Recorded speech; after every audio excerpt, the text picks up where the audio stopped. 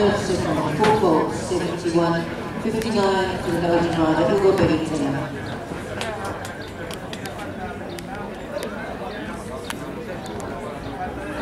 Ha ha ha.